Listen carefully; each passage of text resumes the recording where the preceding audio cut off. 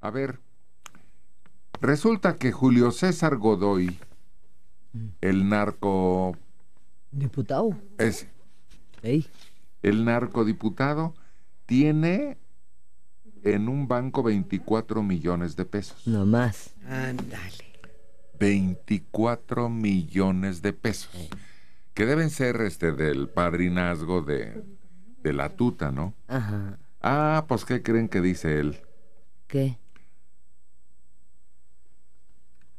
Que son de su mamá. Mira, mi vida, qué buen hijo.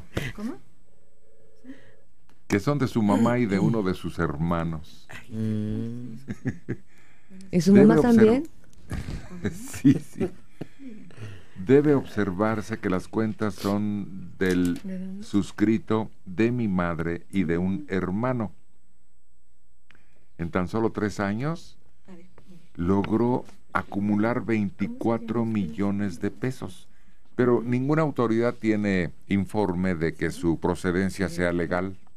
Pues sí, no, no tuvo un puesto de alta remuneración. Ocho millones por año. Eh, Se podía justificar con una herencia, con un premio, pero cuando haces un depósito bajo esas circunstancias, tienes el respaldo para, para justificarlo ante cualquier autoridad. Aquí ya ni se puede. Es- están expulgando los datos bancarios y ahí aparecen esas cifras.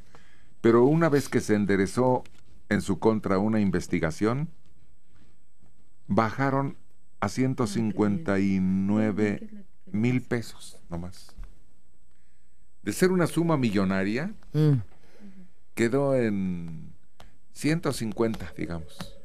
Le retiraron rápido, todo el dinero claro. para que la investigación no lo agarrara con las manos en la masa, pero los eh, detalles de la contabilización de los bancos detectaron un saldo de 24 millones de pesos según la investigación de la PGR. Pues ahí está.